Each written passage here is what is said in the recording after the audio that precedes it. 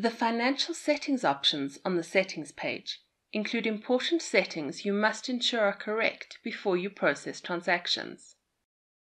The chart of accounts is a list of all the accounts used by your business.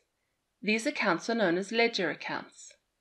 Accounting uses a standard layout designed for small businesses.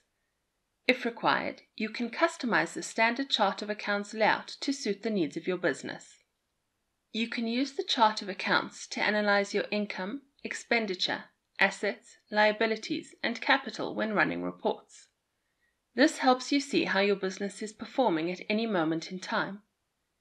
Each account has a unique number, although it doesn't matter which number you use, as it's the category you choose when creating a new account that determines where it appears in your reports.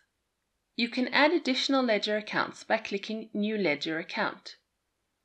First, select if the account should be included in the chart of accounts. Then enter the account name. If necessary, update the account number that was assigned by default. Select a category for the account and select when the category is displayed.